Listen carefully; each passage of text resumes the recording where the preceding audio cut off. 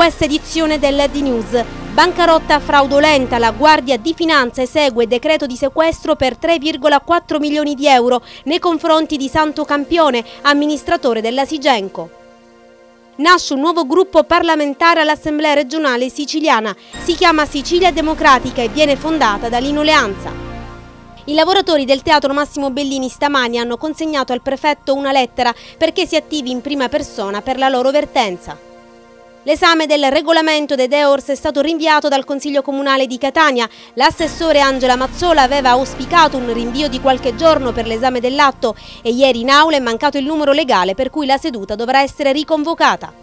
In piazza Cutelli piantati 12 alberi di leccio al posto delle palme. Sei alla continua ricerca di una banca pronta a condividere con fiducia i tuoi progetti. Banca Base ha i tuoi stessi obiettivi e cerca te per dare forza al tuo business. Banca Base, le tue idee, i nostri obiettivi.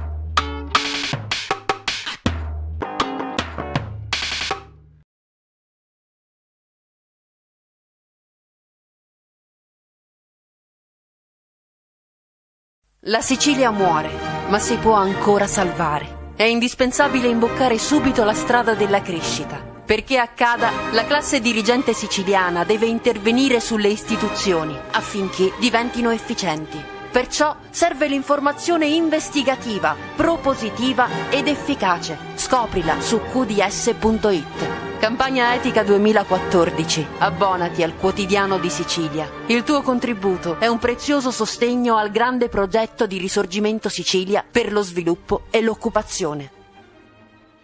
Mamma e papà, due parole semplici e piene d'amore, perché è dall'amore che arrivi tu. Sei il dono visibile, ci regali felicità, sei il presente e il futuro.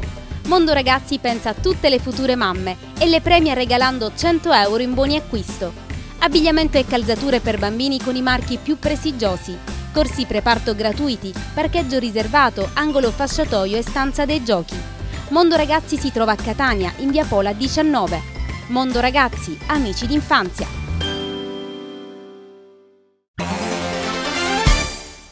Questa mattina i finanzieri del Comando Provinciale di Catania, coordinati dal Gruppo per i reati contro la criminalità economica della locale Procura della Repubblica, hanno dato esecuzione al provvedimento di sequestro preventivo disposto dalla GIP del Tribunale Tenneo nei confronti di Santo Campione, amministratore dell'Asigenco SPA, per aver sottratto al patrimonio della società risorse economiche quantificate allo Stato in 3,4 milioni di euro.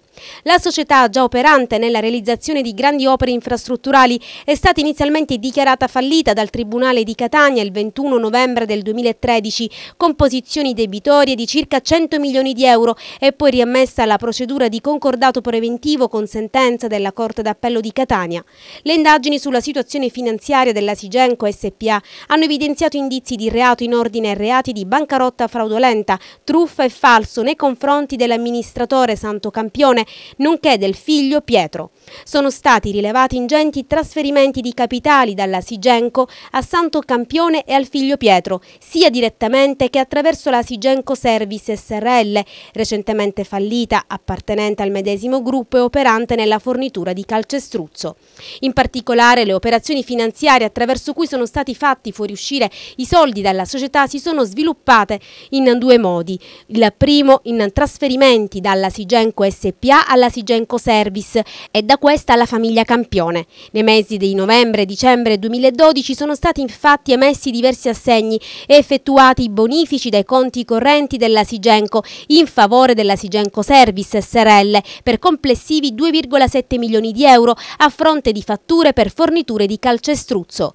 Le movimentazioni finanziarie avvenute in epoca appena successiva alla presentazione dell'istanza di concordato preventivo da parte della Sigenco SPA non erano state autorizzate dal Tribunale fallimentare di Catania e pertanto erano state qualificate quali atti in frode dei creditori.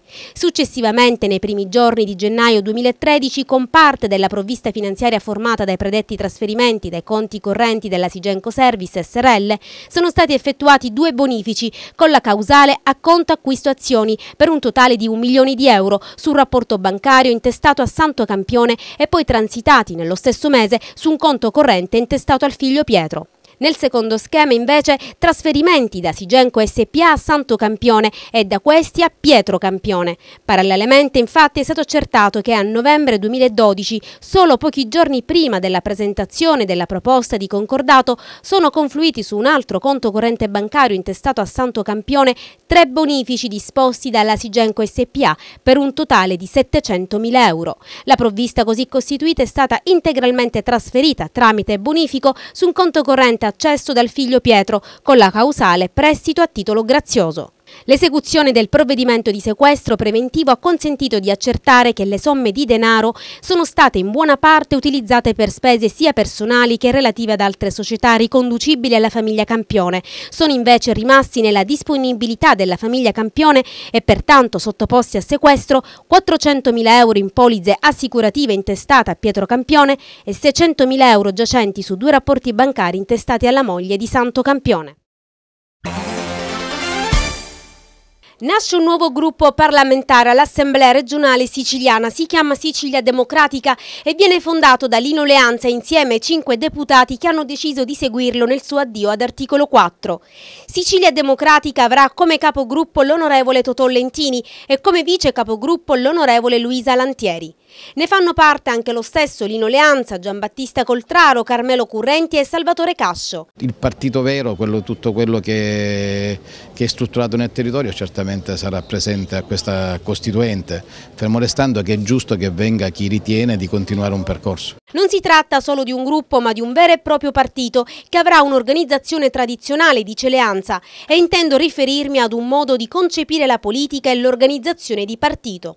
Sicilia Democratica terrà la sua costituente il 29 e 30 novembre. In quell'occasione saranno varati lo statuto, il manifesto, il simbolo, il codice etico che tutti gli aderenti dovranno sottoscrivere, il piano programmatico e quello organizzativo. È una continuazione di un progetto che avevamo avviato già circa due anni fa, che io avevo avviato circa tre anni fa e quindi una naturale evoluzione. In quella naturale evoluzione ovviamente faremo, tireremo le somme e avvieremo un nuovo percorso percorso. Le linee guida della nostra azione non cambiano. Al centro dell'attività politica di Sicilia Democratica ci sarà sempre la lotta all'esclusione sociale, lo sviluppo, la legalità, interventi per il potenziamento delle piccole e medie imprese, la promozione della cultura, dell'istruzione e della formazione, nella convinzione che di cultura e turismo si mangia soprattutto in Sicilia.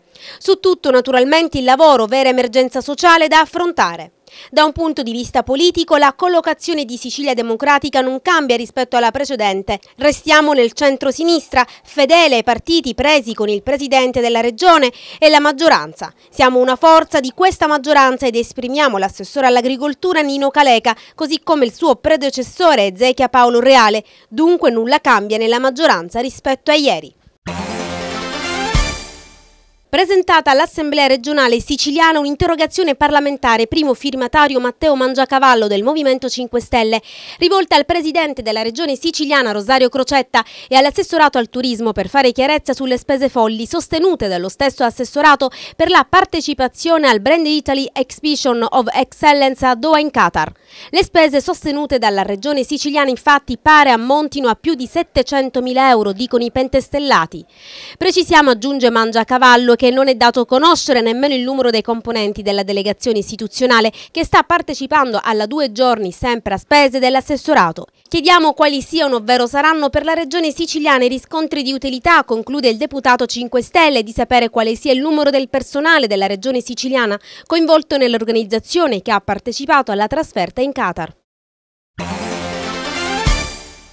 Il PM Angelo Brugaletta ha chiesto la condanna a 14 anni di carcere per omicidio volontario del vigilante Graziano Longo Minnolo, di 35 anni, accusato di aver ferito mortalmente con un colpo di pistola Giuseppe Giuffrida, 22 anni, il 3 ottobre del 2012 ai mercati agroalimentari Sicilia, Mass di Catania, al culmine di una lite. La prossima udienza si terrà il 17 dicembre con gli interventi delle parti civili, gli avvocati Giuseppe Lipera, Grazia Coco, Claudia Branciforti e Salvatore Cavallaro, che rappresentano rappresentano i familiari della vittima. Seguirà la ringa della difesa con gli interventi degli avvocati Fabrizio Siracusano e Salvatore Trombetta.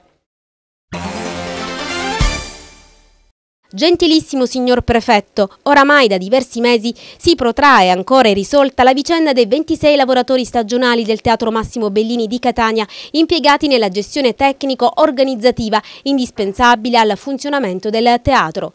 Inizia così la lettera che questa mattina i lavoratori del teatro insieme al sindacalista SNALS Confsal Antonio Santonocito hanno consegnato al prefetto della città di Catania affinché si attivi in prima persona per l'avvertenza. Nelle settimane scorse i lavoratori stagionali senza lavoro e senza stipendio, sconfortati e avviliti, hanno più volte protestato portando all'attenzione della cittadinanza la loro condizione, sospendendo più volte la protesta a seguito di promesse ancora oggi non mantenute. In diversi incontri con il CDA e il sovrintendente è stata più volte annunciata e fatta richiesta alla regione siciliana la deroga al divieto di assunzione prevista dalla legge regionale. In un incontro tenutosi nelle settimane scorse tra il CDA e alcune alcuni funzionari regionali, presenti anche il presidente Rosario Crocetta, si è convenuto di presentare all'ARS una norma che dia la possibilità di assumere il personale necessario per il funzionamento del teatro. Oggi la struttura è sprovvista di personale di vigilanza antincendio e del personale di vigilanza alla portineria, nonché di tutte le maestranze necessarie per la realizzazione delle varie opere. Nonostante siano trascorsi diverse settimane ancora nulla si sa sui tempi e sul risultato e sull'esito finale. Dalle notizie che abbiamo anche dal CDA hanno fatto tutti i passaggi necessari, c'è anche l'impegno personale del Presidente della Regione di far passare questa norma che deroga alla legge regionale così come è stato fatto per le terme. Però sono trascorse ormai 3-4 settimane e non abbiamo notizie di questa, di questa norma. Noi chiederemo oggi alla Prefettura di Catania, al Prefetto, di farsi portavoce, interpretare il disagio e la disperazione di questi lavoratori. Vi ricordo che Qualche settimana fa uno di questi ha tentato di darsi fuoco per la disperazione, ma è stato grazie a Dio prontamente soccorso eh, dai colleghi, dai carabinieri, dal 118, però voglio dire, siccome si tratta di eh, diritti acquisiti e non riconosciuti, eh, la gente si aspetta giustamente che si dia corso peraltro agli impegni assunti personalmente dal Presidente della Regione. Quindi chiederemo al Presidente di farsi portavoce e anche al CDA di continuare questa pressione perché diventa ingestibile ormai eh, da, da, un anno che si va dietro questo, la protesta ormai si protrae da, da, da circa due mesi, però non, non abbiamo riscontri immediati e positivi al momento. Adesso al Teatro Massimo di Catania c'è in corso il balletto di, di, di, calendario. E ci sono attualmente i caldeisti fuori, questi poveracci, tutto il balletto completo, si devono fare la sera la doccia fredda per non, per non poter entrare per causa di questa norma i nostri addetti al lavoro. Per esempio la prevenzione incendi è fuori, il teatro è sfornito dei pompieri completamente. Io, io, io, dico una cosa, cerchiamo di risolvere i piccoli problemi che attualmente ci attanagliano alla città di Catania, no? sono problemi che burocratici che si possono risolvere in un giorno. Prego al, al Presidente della Regione che faccia finalmente questa benedetta seduta e, e incominciamo a lavorare una volta per tutti. Se nelle prossime ore non si sbloccano le procedure necessarie per pagare tutte le spettanze arretrate ai lavoratori forestali, saremo costretti ad attivare iniziative anche legali per tutelare i lavoratori del settore, procedendo con denunce dettagliate. Lo scrivono i segretari generali di FAI CISL, FLAI CGL Willa Will di Catania, Pietro Di Paola, Alfio Mannino e Antonio Marino, in una lettera indirizzata al Presidente della Regione Crocetta, all'assessore regionale all'agricoltura e ai direttori dell'azienda forestale di Catania e Palermo, ai direttori direttori IRF di Catania e Palermo. I sindacati definiscono il mancato pagamento degli stipendi forestali una vergogna. La politica e la burocrazia regionale dimostrano tutta la loro inconcludenza e incapacità nel gestire l'ordinaria azione amministrativa di questo settore, producendo un forte malessere tra i lavoratori, si legge ancora nella lettera. Anche in precedenza la situazione è stata sempre assai difficile, ma quello che si sta verificando in questo ultimo anno non è più accettabile e non si riesce più a trovare nessuna giustificazione per tali ritardi. Ritardi dovuti in parte non alla mancanza di risorse, ma ad errori burocratici spesso voluti. Per quanto quanto riguarda infatti il pagamento dell'antincendio, solo in queste ore si sta sbloccando il pagamento del mese di agosto. Ciò è stato possibile solo grazie ad una nostra azione costante. Abbiamo spesso dovuto sostituirci all'amministrazione forestale, fungendo da passacarte affinché la documentazione necessaria si spostasse da un ufficio all'altro. La situazione dei lavoratori dell'azienda è ancora più confusa e incerta. Ci sono ancora lavoratori che devono percepire il mese di agosto e ci sono perizie di cui non si hanno notizie. L'esame del regolamento dei DEORS è stato rinviato dal Consiglio Comunale di Catania. L'assessore alle attività produttive Angela Mazzola aveva auspicato un rinvio di qualche giorno per l'esame dell'atto e ieri sera in aula è mancato il numero legale per cui la seduta dovrà essere riconvocata. Quello sui DEORS, ha detto l'assessore, è un regolamento atteso da molti anni ed è quindi giusto avere la possibilità di svolgere un lavoro supplementare per esaminare con ancora maggiore accuratezza i tantissimi emendamenti, ben 140, proposti dai consiglieri comunali. Potremmo così analizzare le valutazioni dell'UTU, l'Ufficio Traffico Urbano, e alcuni pareri legali anche in relazione alle normative nazionali e regionali. I capigruppo Alessandro Porto, Carmelo Nicotra, Daniele Bottino, Giovanni Davola, Carmelo Coppolino si sono detti d'accordo con la scelta di rinviare di qualche giorno l'esame di questo importante atto per Catania affinché hanno sottolineato si possa dar vita a un regolamento innovativo a vantaggio di tutta la città.